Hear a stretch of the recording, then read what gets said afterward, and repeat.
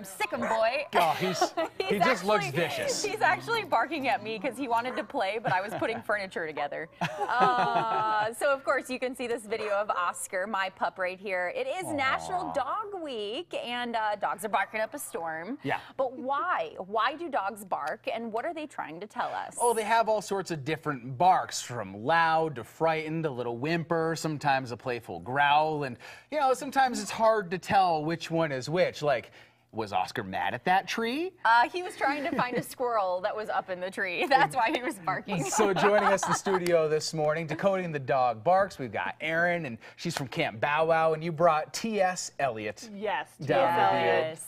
What a sweet, What a good sweet dog name. He's a good boy. Um, Yeah. So tell us more about this. Why do dogs bark? Obviously, it's a way for them to communicate, but Yeah. they have different reasons for communicating. Dogs can bark for alert reasons, like they hear someone outside or something that they're not sure of. Um, they can bark to play, like you were talking about with your Mm-hmm. kiddo. They can bark just out of pure overexcitement, like they can't even handle what's going on. Um, stress or fear, that's another big one. They can bark for that reason. Uh, demand barking, that's another big one. They want something and they want it now. Yeah.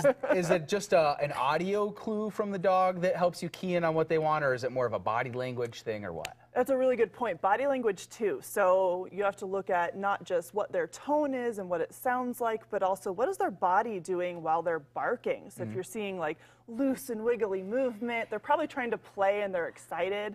But if you're seeing really stiff movement and maybe their ears are really forward or their tail's super high, it might be more alert or uh, out of stress or nerves, not sure what's going on instead. So it's important to read the body language with it.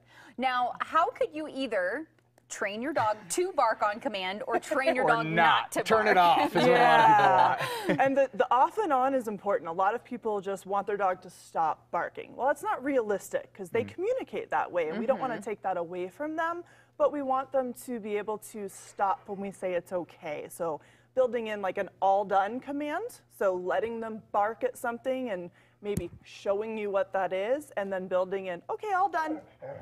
He's already talking right there. Good boy.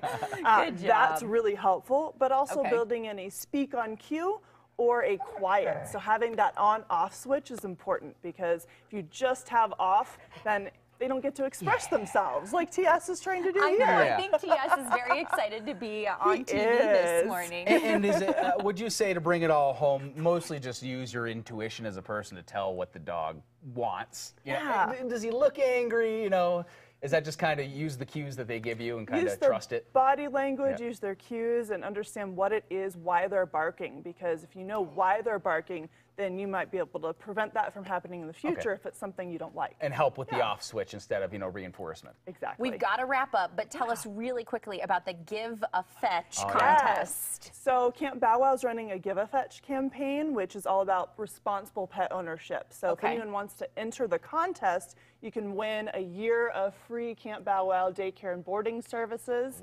You just go to www.giveafetch.com. Oh, cool. And it's free. Yeah. And it's free. Yeah. Yeah. Perfect. There you go. Participate. Sounds great. Good boy, Awesome. TS. We appreciate you guys both being here today. There you go. And you want to take the puppers out for a walk. Of course, all the fall colors are changing, and we're seeing just awesome pictures. So I think that we have uh, a couple to share, don't we, guys? Yes, we do. Guys. It's know- officially fall.